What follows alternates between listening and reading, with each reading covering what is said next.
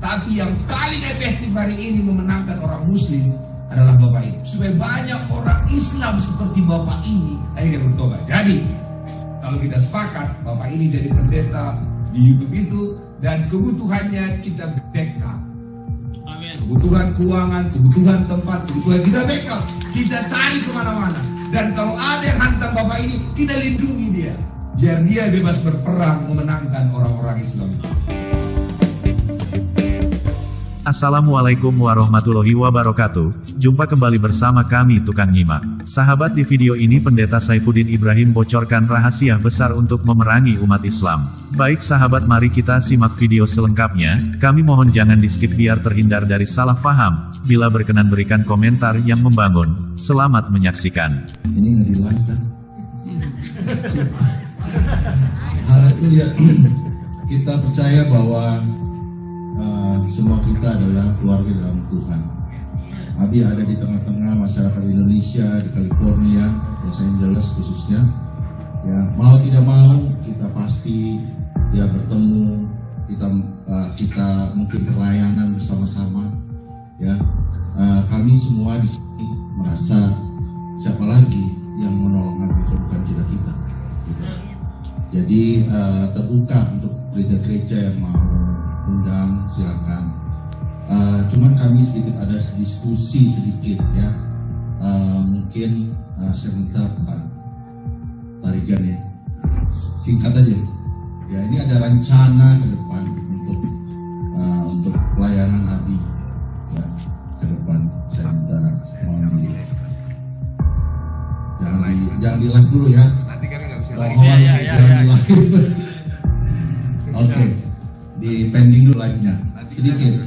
Ini kita menyambut kita semua ada di tempat ini. Ya.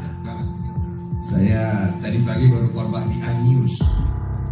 Anius, saya buatkan sebentar Pak. Saifuddin dapat teguran untuk tidak live streaming karena ini menyangkut kita semua ujar salah seorang jemaat yang menghampirinya, lalu Saifuddin mengatakan iya padahal mengabaikannya, sehingga orang di pinggir Saifuddin membisik, biarin aja jawab Saifuddin. Sudah pasti jemaat gereja semua takut bila live karena mereka memberi dukungan mendorong Saifuddin untuk menjadi paling depan menyerang Islam. Jadi masih sering khotbah di televisi Indonesia. Nanti bisa balik,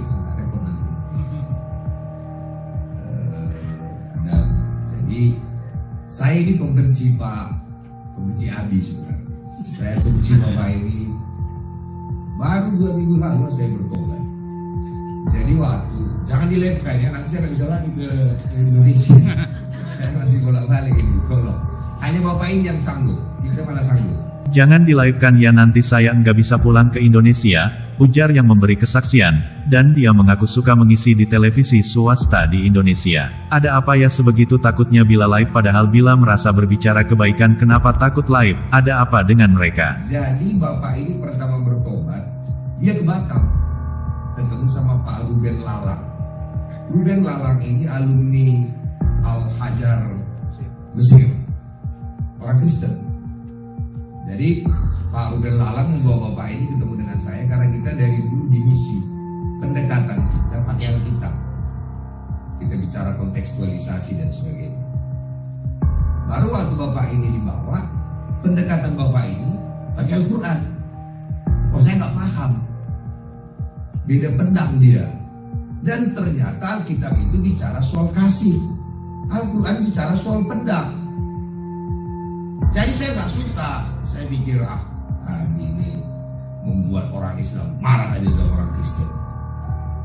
Ternyata Alkitab itu berbicara soal kasih, Al-Quran berbicara soal pedang, saya tidak suka abi ini membuat orang Islam marah, ujar yang memberi kesaksian.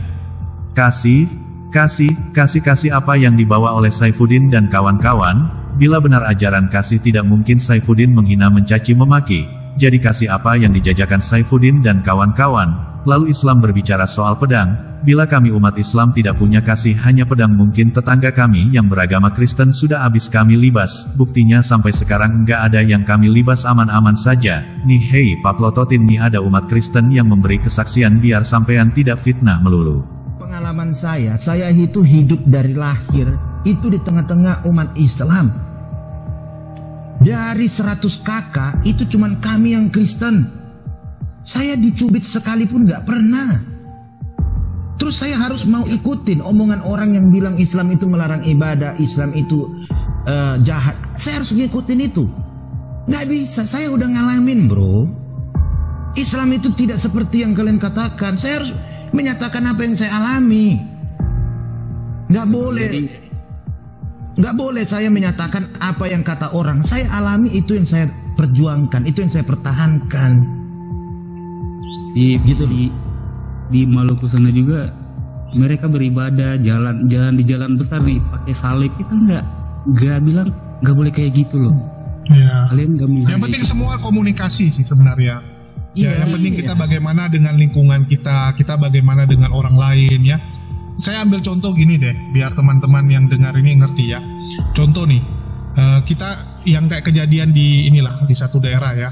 Contoh nih, misalnya Bang eh, Bang Bob gitu, dia lagi buat acara tiba-tiba karena nggak punya izin didatangi nih oleh Bang Brewo gitu kan, ditanyain, Bang Bob mana izin anda gitu. Terus Bang Bob ternyata nggak ada izin. Terus Bang Brewok bilang, wah ini terpaksa kita bubarkan kalau nggak ada izin gitu kan. Terus Bang Bob bilang, ya kau bubarkan lah, ku rekam kau, ku rekam kau ini lihat ya, ku videokan, ku buat viral kau. Banyak kenalanku orang-orang hebat, awas kau gitu kan. Menurut teman-teman, ya Bang Brewok akan mundur, ya akan bilang, oh ya udah, ya udah, saya ngalah saja gara-gara udah direkam. Atau malah Bang Brewok tambah marah. Harusnya kan yang dilakukan sama Bang Bob adalah apa? Yang komunikasi lah bagus-bagus, ya tolong dibantulah kan kita tetangga, ya dilakukanlah pendekatan-pendekatan gitu. Jadi janganlah istilahnya dikit-dikit nganggar-nganggar punya inilah punya itu. Ah, itu yang terjadi. Kemarin tuh ada ya ibu-ibu tuh waktu ngerekam dia bilang awas kau ya, kau tahu kenalanku orang-orang hebat gitu. Saya sampai aduh, ya sedih gitu orang-orang yang seperti itu. Nah lo jadi yang membawa ajaran dan mengamalkan kasih itu siapa sebenarnya? Masa kalian orang sekolahan diam di Amerika sebotol itu? Buktikan woi, woi buktikan, jangan asal bacot, barusan Bang Bob asli beragama Kristen, lalu Bang Julius dia seorang mualaf. Apa yang dia katakan? Nah kalian yang ada di gereja dengan Saifuddin malah memandang umat Islam tidak baik bahkan mau diperangi. Orang yang kesaksian ini ngomong sama halnya dengan pemecah belah kerukunan umat beragama. Jadi sebenarnya Abi ini dipakai Tuhan menggunakan pedang yang berbeda. Kalau kita lihat Daud waktu dia bunuh Goliat tidak pakai pedang Israel.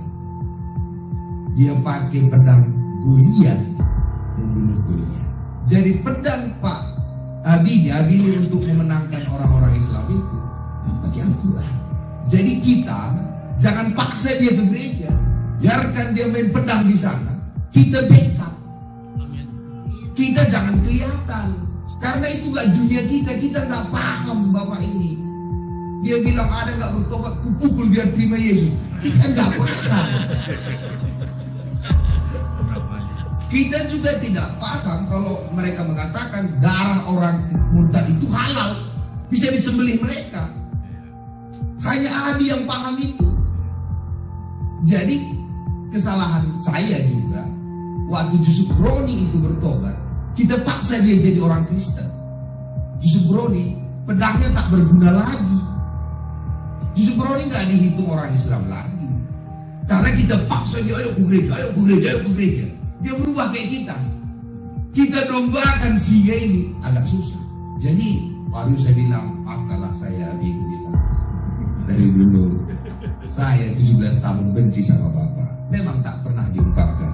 Nah, tapi saya bilang, gimana kalau Abi? Kita buat aja lah gereja Abi. Gereja YouTube. Mungkin namanya jemaah tak apa. Abi ini pendetanya di situ. Dia khotbah bahasa Arab pakai Al-Quran pakai pedang itu. Asal dia ngomong, ribuan orang Islam mendengar. Ada dua jenis pendengar, pembenci dan yang suka. Tapi kalau Ali pakai Alkitab, siapa yang dengar? Orang Islam tak percaya Alkitab kita. Jadi kalau kita paksa dia pakai Alkitab, gaya Alkitab, udah nggak nyambung. Jadi saya bilang, Abi aku minta maaf, tapi aku punya impian gini aja lagi kalau cocok. Gimana? Abi tetaplah di situ. Ya bahasa bedanya bel-beli mereka pakai pedang itu. Kami orang Kristen membackup Bapak, tapi kami nggak bisa di depan. Kita di depan, saya nggak berani muncul ini. Besok saya nggak bisa lagi kok di televisi di sana.